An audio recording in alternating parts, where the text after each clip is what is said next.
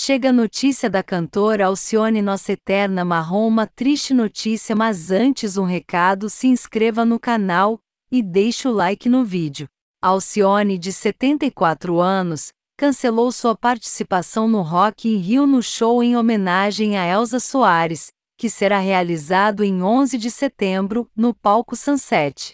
Segundo o comunicado feito pelo festival nesta sexta-feira, a cantora justificou a ausência por motivos pessoais. O Rock in Rio afirma que, devido à relevância da artista, ela não será substituída, e o show seguirá com Majur, Agnes Nunes, Caio Prado, Martinalha, Gabi Amarantos e Larissa Luz.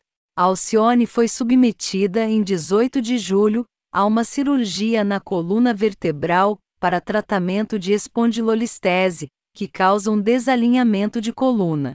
A assessoria de Marrom informou que o procedimento foi bem sucedido. Marrom, como é conhecida, está fazendo de tudo para melhorar sua saúde para voltar aos palcos, mas a mobilidade de movimento da cantora é muito grave porque ela sente muitas dores. Esta cirurgia foi para amenizar estas dores, mas a situação está complicada.